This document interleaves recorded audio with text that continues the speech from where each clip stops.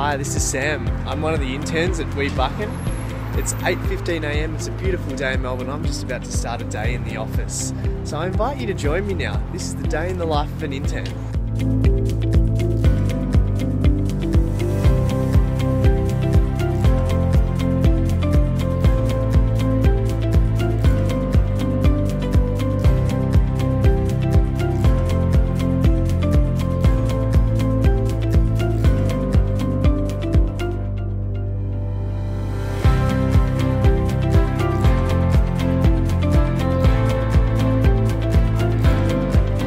So working as an intern here is really awesome. Some of the tasks that I've done have included creating media lists, doing media monitoring, undertaking research. It's just been a great, great team to work with.